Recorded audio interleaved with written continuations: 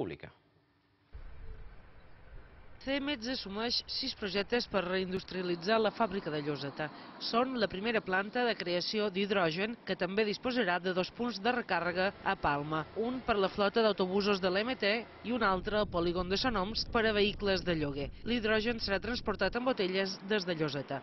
El projecte preveu també una planta de tractament d'àrids, una de producció d'asfalt, un centre logístic per a l'expedició de materials de construcció a Lloseta, Palma i Alcúdia, una cooperativa de transport i un centre tecnològic d'I+D+I per a la investigació, desenvolupament i innovació. Amb un termini total d'execució de 30 mesos es necessitaran 70 persones i es contractaran empreses locals per dur a terme l'obra civil. S'estima que aquests sis subprojectes generin entre 52 i 65 llocs de feina, més 40 contractacions indirectes.